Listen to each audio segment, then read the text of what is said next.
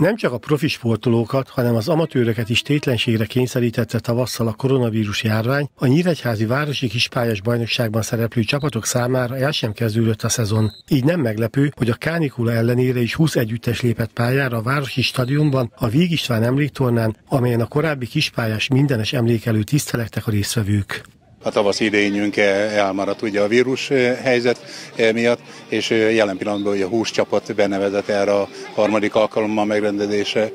kerülő Víg István emléktornára. Én nagyon örülök neki, hogy igazán jó csapatok minden csoportból képviseltetik magukat a csapatok, magát a vándorserleget is a kispályások alapították, és természetesen a szabolcs bereg megyei labdarúgó szövetség támogatásával és zajlik ez a rendezvény, hiszen Pista bácsi az nagyon nagyon sokat dolgozott játékvezetőként, ellenőrként is a megyei labdarúgásba, és Kvaka Árpád nagyon fontosnak tartja azt, a megyei labdarúgó szövetség igazgatója, hogy emlékezzünk meg Pista bácsiról, hiszen ő hosszú éveken keresztül a Városi Kispályás labdarúgó bajnokságot is irányította. A tornát végül az Újfehértó HSC nyerte a pikolósöröző és a korábbi kétszeres győztes Vektigália előtt. A gólkirályi címet az újfehértói Ádám Dénes szerezte meg, a legjobb játékosnak a Vektigáliás Snoblok Sándort, a legjobb kapusnak pedig a pikolósöröző hálóőrét Bernát Rihárdot választották meg a szakemberek. Hétfőn pedig elrajtolt a Városi Kispályás Bajnokság, a tavaszi idén pótolják a csapatok. Hétfőn, kedden, csütörtökön és pénteken játszunk, a szerdai napot azt mindig mm, esőnapnak hagyjuk, illetve ugye a Nyíregyházi Spartakusz gyakran játszik majd szerdán is, itthon azon a napon természetesen mi nem játszunk, ezt szeretik a csapatok ezt a lebonyolítási rendszert, fél hattól, fél héttől és fél nyolctól játszunk, villanyfényes pályáink vannak, hat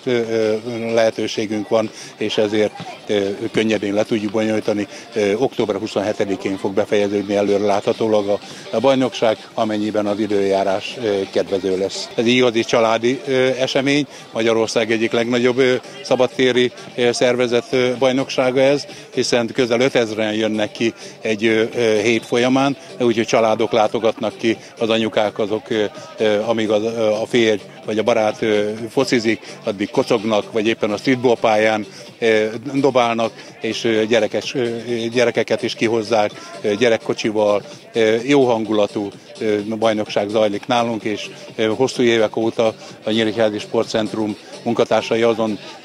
dolgoznak, hogy itt mindenki jól érezze magát, és